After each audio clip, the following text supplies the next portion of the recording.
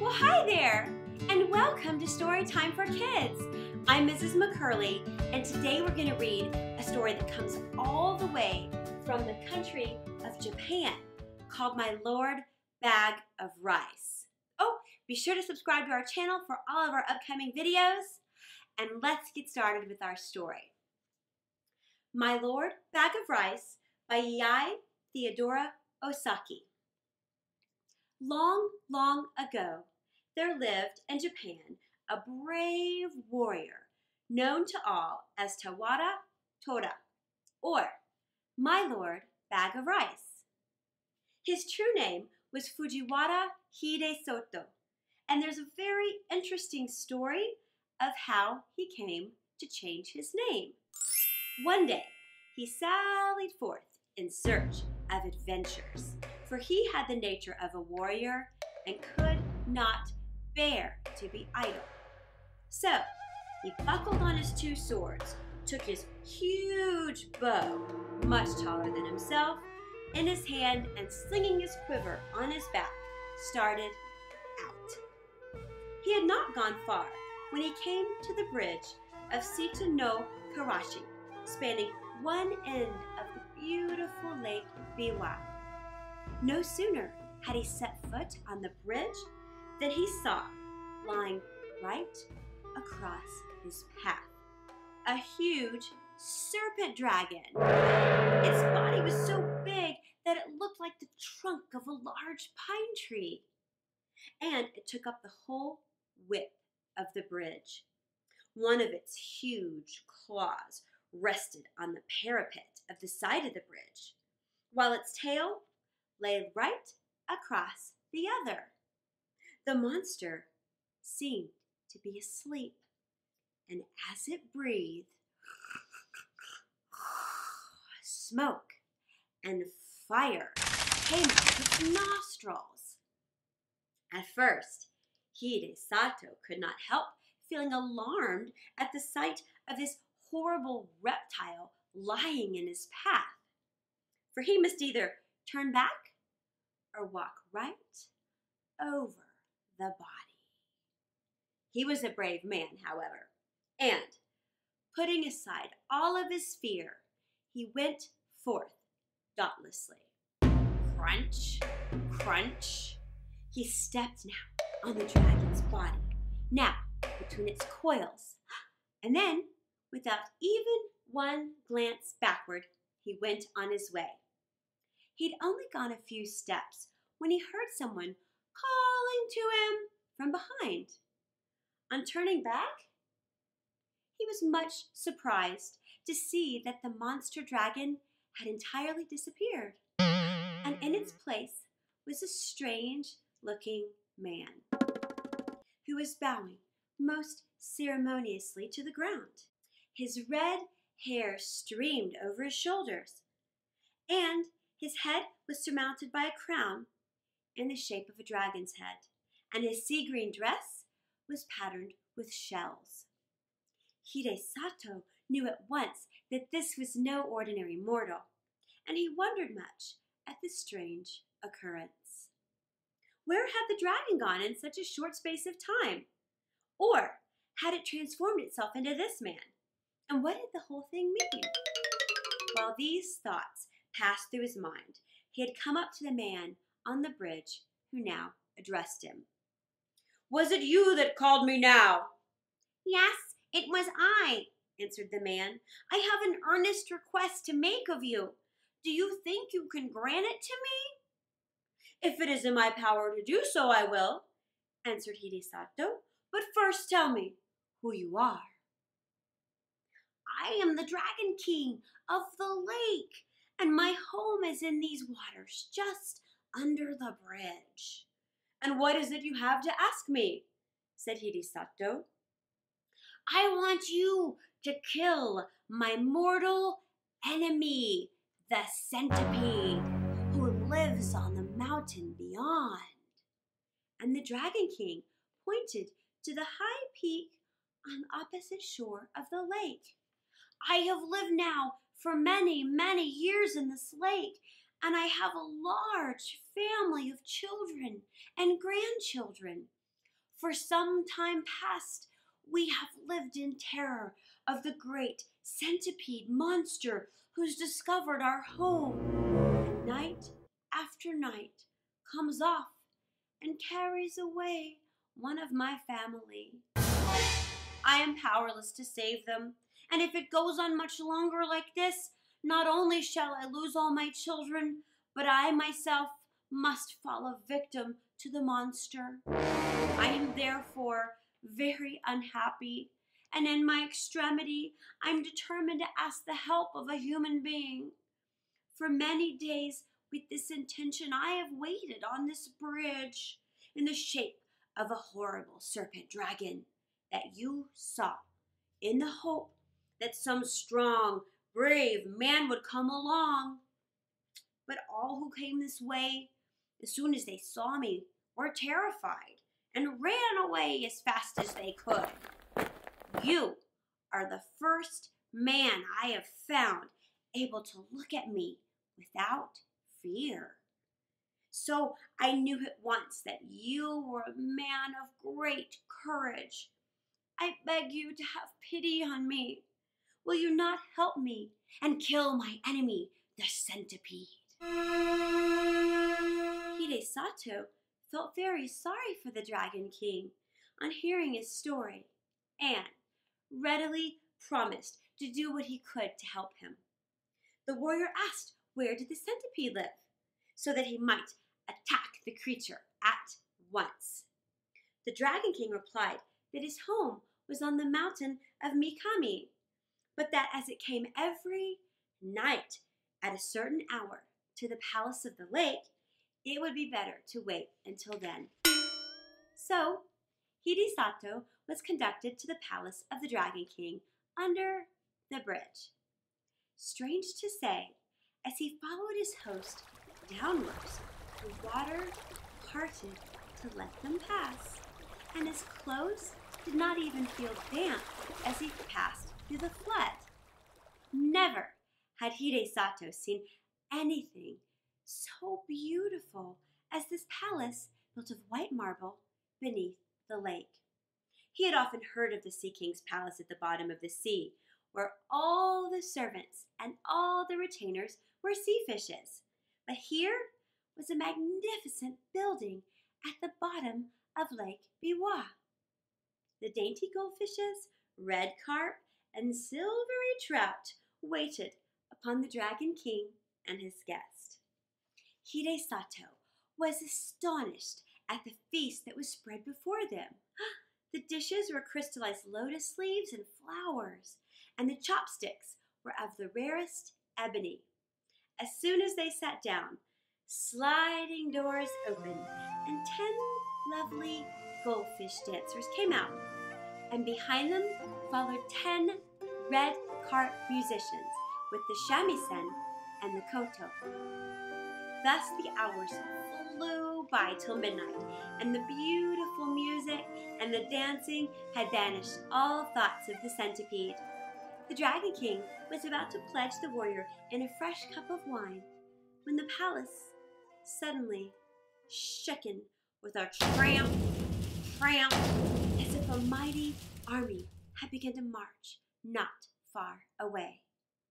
Hidesato and his host both rose to their feet and rushed to the balcony, and the warrior saw on the opposite mountain two great balls of glowing fire coming nearer and nearer. The Dragon King stood by the warrior's side, trembling with fear. The centipede! The centipede! Those two balls of fire are its eyes. It's coming for its prey. Now, now it's the time to kill it. Hidesato looked where his host pointed, and in the dim light of the starlit evening, behind the two balls of fire, he saw the long body of an enormous centipede winding round and around the mountain. And the light in its hundred feet glowed like so many distant lanterns moving slowly towards the shore. Hidesato showed not the least sign of fear. He tried to calm the Dragon King. Don't be afraid. I shall surely kill the centipede. Just bring me my bows and arrows. The Dragon King did as he was bid, and the warrior noticed that he only had three arrows left in his quiver. He took the bow and, fitting an arrow to the notch, took careful aim and let fly. The arrow hit the centipede right in the middle of the head. But instead of penetrating, it glanced off, harmless, and fell to the ground. Nothing daunted, Hidesato took another arrow, fitted it to the notch of the bow, and let fly. Again, the arrow hit the mark. It struck the centipede right in the middle of the head, only to glance off and fall to the ground. This centipede was invulnerable to weapons. When the Dragon King saw that even the brave warrior's arrows were powerless to kill the centipede, he lost heart and began to tremble. The warrior saw that now he only had one arrow left in his quiver, and if this one failed, he could not kill the centipede. He looked across the waters. Huge reptile had wound its horrid body seven times around the mountain and would soon come down to the lake. Near and near gleamed fireballs of light, and the light of its hundred feet began to throw reflections in the still waters of the lake. Then, suddenly, the warrior remembered that he had heard that human saliva was deadly to centipedes. Oh, but this was no ordinary centipede. This was so monstrous that even to think of such a creature made one creep with horror. Hidesato determined to try his last chance. So, taking his last arrow and putting the end of it in his mouth, he fitted the notch to his bow and took careful aim once more and let the arrow fly. This time, the arrow hit the centipede right in the middle of its head, but instead of glancing off harmlessly, as before, it struck home right to the creature's brain. Then, with a convulsive shudder, the serpentine body stopped moving, and the fiery light of its great eyes and hundred feet darkened to a dull glare and went out into blackness. A great darkness now overspread the heavens, and the thunder rolled, and the lightning flashed, and the wind roared in fury, and it seemed as if the world were coming to the end. The Dragon King and his children and retainers all crouched in different parts of the palace, frightened to death, for the building was shaken to its foundation. At last, the dreadful night was over. Day dawned, beautiful and clear. The centipede was gone from the mountain.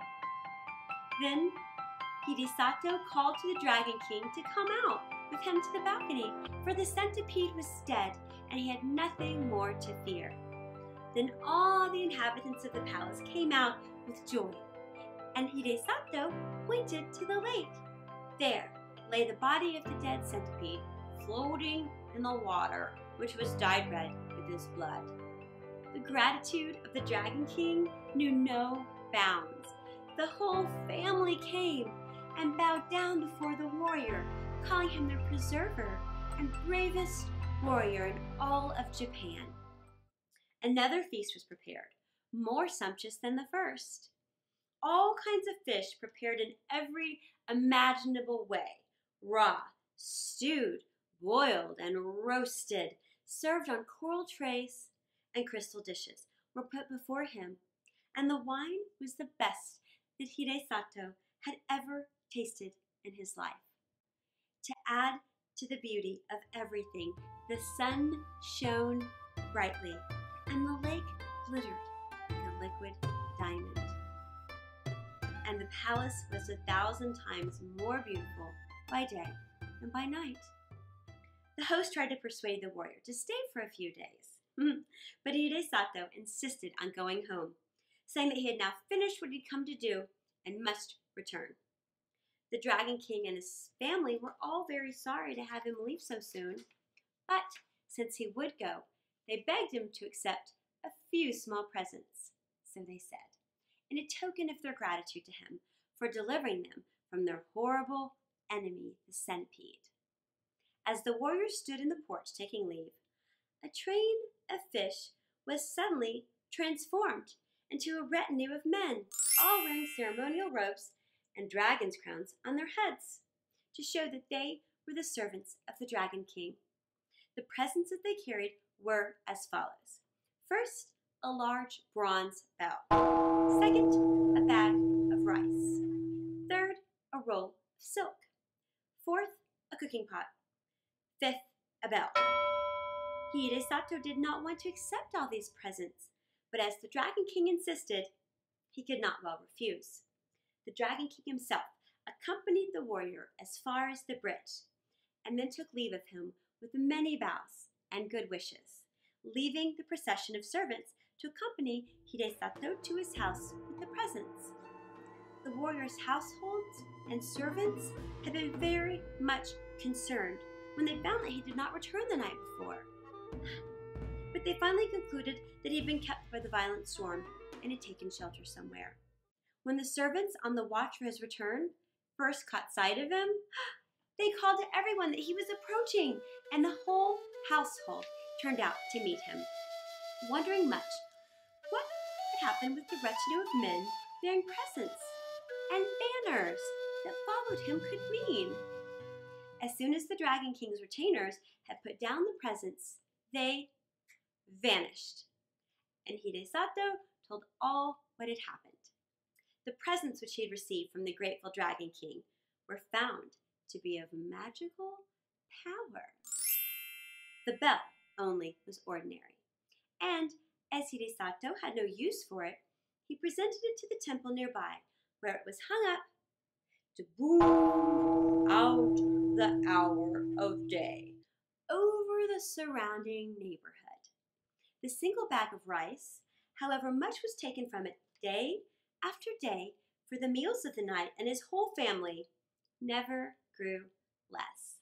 The supply was inexhaustible. The roll of silk, too, never grew shorter, though time after time long pieces were cut off to make the warrior a new suit of clothes to go to court for the new year. The cooking pot was wonderful too. No matter what was put into it, it cooked deliciously whatever was wanted without any firing. Truly, a very economical saucepan.